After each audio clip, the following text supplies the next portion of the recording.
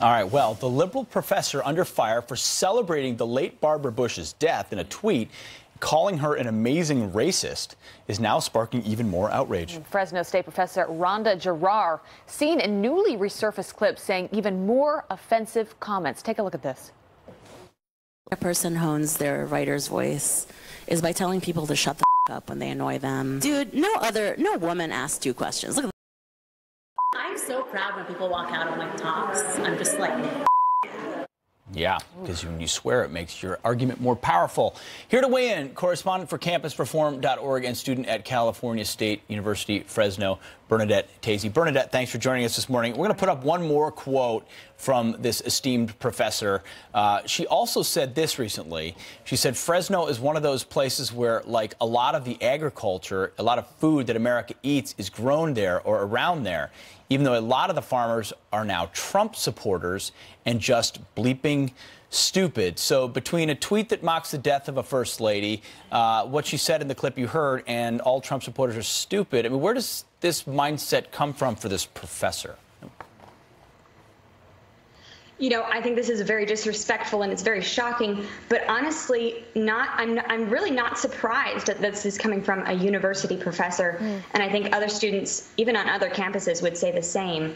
Unfortunately, and while Professor Jarrar absolutely has the right to free speech, her comments this past week and before have been vile and absurd, and certainly not up to the standards that a professor should be. And as a professor, she's always teaching, whether she's in or out of the classroom, and she serves as a role model for the next generation.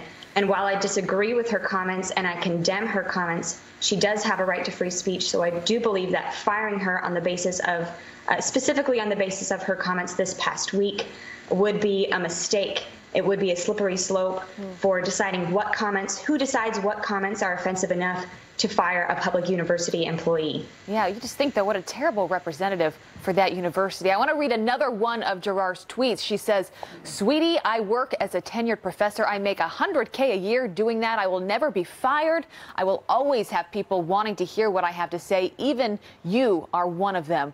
What do you think? The university should do? I mean, does this speak to a bigger systemic problem within our education system that you can get away with saying these things? I mean, you're the ones that are teaching the future of this country. Absolutely. I think education upon what free speech entails and what respect for differing viewpoints is key for students, staff, and faculty, and her comments do reflect intolerance and hatred towards those she disagrees with. And this sort of bias and intolerance from some professors is something we see and report on all the time at the Leadership Institute's campusreform.org. And I'm the president of a Students for Life chapter on campus, a pro life organization.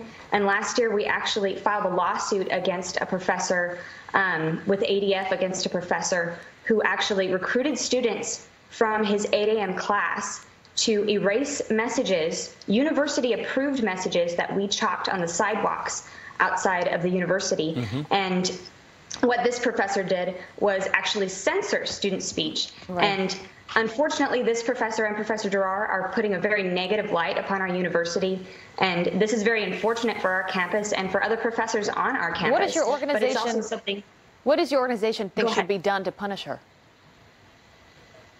Should there be a punishment? What is my organi- what does the pro-life organization think should be done to punish the professor that erased our yeah our do they messages? think do they think that no this professor here do they think that anything should be done to send a message of of who is representing that university i think the key would be to educate um, upon uh, what free speech entails and what uh, respect would be for differing viewpoints and i think that this is uh, something that we see.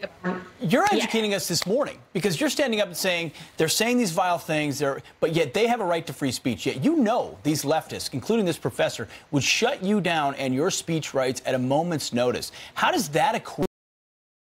get squared because you're talking about real tolerance and real free, free speech, and they're saying certain speech is acceptable and certain speech is not.